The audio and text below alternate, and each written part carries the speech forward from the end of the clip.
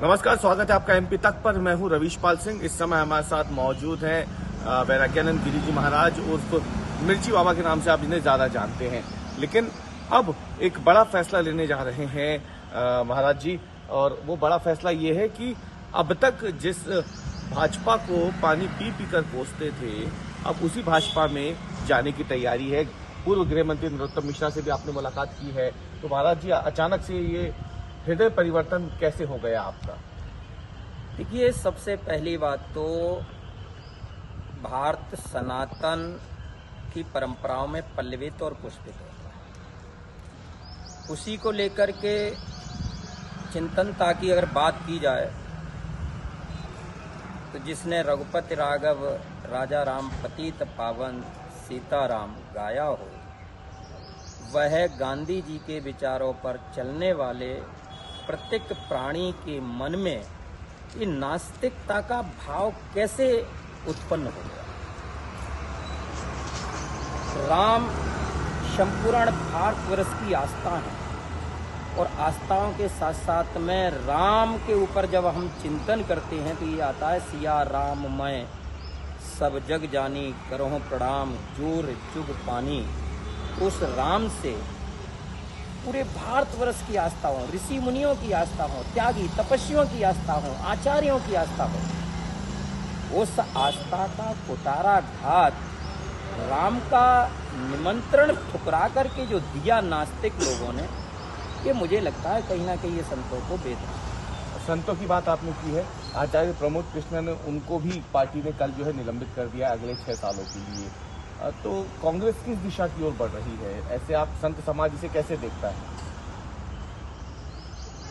संत समाज इसे इस तरीके से देखता है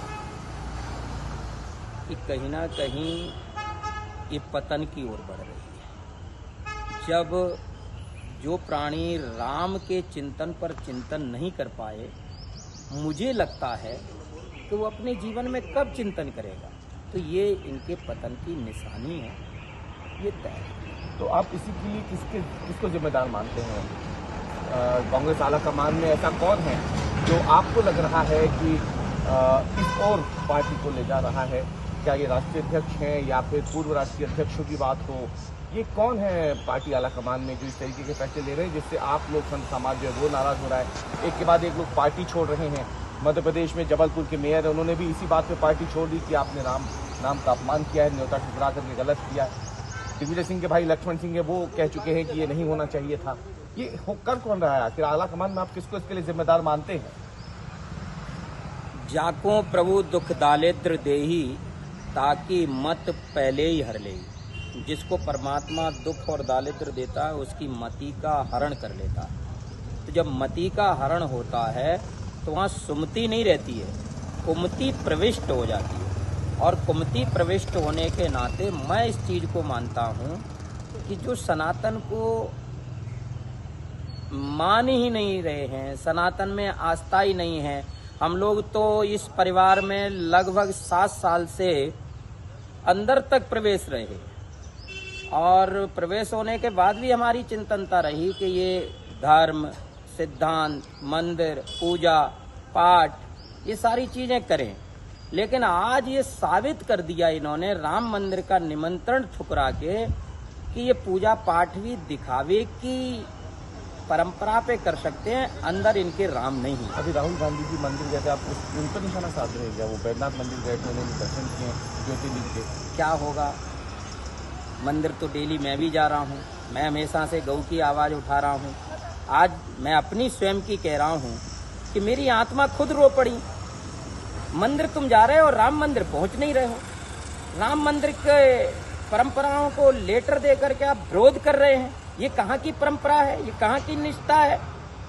मुझे तो लगता है राम मंदिर का जिन्होंने जैसे निमंत्रण ठुकराया है ऐसे ही भारतवर्ष की जनता इनको ठुकरा देगी और इनका स्तर ध्वस्त कर देगी। आप भाजपा में जा रहे हैं मन नहीं अब इसका लिए तो भाजपा एक अपने स्वतंत्रता पर और सनातन की परंपराओं को लेके चलती है ये निश्चय उनका अपने उत्तम विवेकशाली पुरुष करेंगे। आपको अगर जाने की इच्छा होगी आप जाएँगे या नहीं जाएँगे? भाई ये समय बताएगा। समय नज़दीक है। आपने नरोत्तम मिश्रा जी से मुलाकात की। नरोत्तम जी एक हिंदुत्ववादी प्राणी है और सनातन को लेके चलते हैं। सनातन के लिए उनकी एक एक बूंद समर्पण है और उस प्राणी से मिलते रहना चाहिए। मैं तो अभी कुछ कुछ ही दिनों में वर्तमान मुख्यमंत्री मोहन यादव जी से भी एक बड़ा निष्ठापूर्वक भेंट करने वाला अच्छा एक आखिरी सवाल महाराज जी कमलनाथ जी भी भगवान हनुमान जी के बहुत बड़े भक्त हैं, उन्होंने इतना बड़ा मंदिर बनाया है। उनको लेकर के भी तमाम अटकलें लग रही हैं। हालाँकि उन्होंने साफ़ कर दिया कि उनकी निष्ठा कांग्रेस पार्टी के साथ है। आपको क्या लगता है कि क्या उनको भी विचार करना चाहिए? धर्म की जहाँ बात हो भगवान राम की जहाँ बात हो, हनुमान तो उन्हीं के भक्त हैं। मुझे तो लगता है कि इस समय कमलनाथ जी का भी स्वयं का निर्णय इसलिए होना चाहिए कि वो हनुमान जी के परम भक्त हैं और जहाँ हनुमान जी हैं, वहीं कमलनाथ जी का स्तर होना चाहिए और हनुमान जी राम में है।